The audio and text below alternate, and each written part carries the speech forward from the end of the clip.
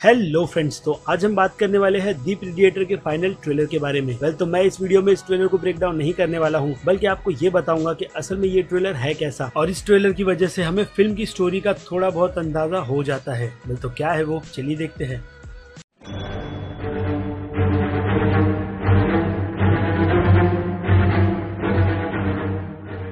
सो so friends आगे बढ़ने से पहले थोड़ा सा स्पॉइलर अलर्ट कर देता हूँ, क्योंकि मैं फ़िल्म की स्टोरी भी डिस्कस करने वाला हूँ। तो उन सभी चीज़ों को ध्यान में रखकर आप आगे बढ़िए। तो ट्रेलर के स्टार्ट में हमें ये पता चल गया कि युविना इस फ़िल्म में बॉयड की वाइफ का रोल कर रही है और उनका बेटा है जेकब जिसका इस फ़िल्म में नाम है रॉरी और यहाँ पर क्वीन की पूछताछ करने के लिए फिगर को भेजा गया है। तो मुझे लगता है वो इस सारे ऑपरेशन के हेड है। और आपने इस ट्रेलर में एक और चीज़ नोटिस की होगी की क्वीन और उसका क्रू कुछ इन्वेस्टिगेशन करने जाता है मेक्सिको बॉर्डर पर और उन्हें वहाँ पर मिलता है प्रीडिएटर, जिसके बाद शायद क्वीन ही एक ऐसा शख्स होता है जो वहाँ से बचकर ज़िंदा बाहर आता है। लेकिन मुझे लगता है कि वो वहाँ पर प्रीडिएटर को भी पकड़ने में कामयाब होता है और वो प्रीडिएटर एक गवर्नमेंट फैसिलिटी में छुपा दिया जाता है, जिसके बारे में किसे भी नहीं पता है। लेकिन एक और खास बात यह है कि क्वीन के पास प्रीडिएटर का हथियार है, जो अब क्वीन के घर में रखा हुआ है। और अब वो हथियार क्वीन के बेटे रॉरी के पास है। तो अब इन सब बातों को देखकर ऐसा लगता है कि प्रीडिएटर को वो वेपन वापस चाहिए, क्योंकि शायद उस वेपन में कुछ खास है,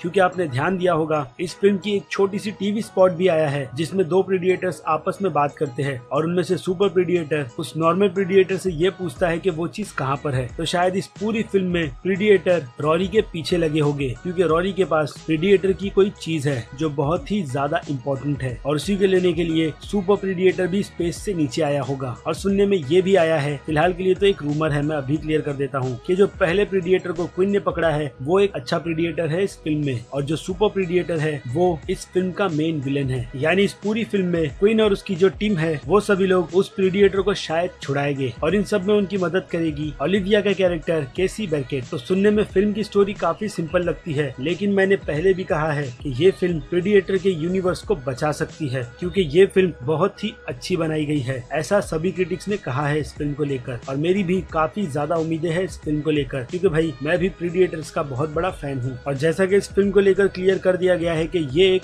आर रेटेड फ़िल्म है। यानी ये फ़िल्म हमारे इंडिया में एडल्ट ही रहेगी। तो बात कर ले फाइनल ट्रेलर की तो फाइनल ट्रेलर काफ़ी ज़्यादा अच्छा है। इससे हमें काफ़ी सारी डिटेल्स मिली है इस फ़िल्म की स्टोरी को लेकर, जो अब आपके सामने है। वेल तो आपकी क्या राय है इस फ़िल्म को लेकर, उस बारे में मुझे कमेंट कर ज़रूर बताइएगा। और साथ ही साथ अगर आपको मेरी ये वीडियो पसंद आई है तो मेरे इस वीडियो को लाइक करना बिल्कुल भी मत भूलिएगा। और अगर आप मेरे चैनल पर नए हैं तो मेरे चैनल को सब्सक्राइब और साथ ही साथ उस बेल आइकन को दबाना बिल्कुल भी मत भूलिए। वेल तो मिलते हैं आपसे अगले वीडियो में। Till then bye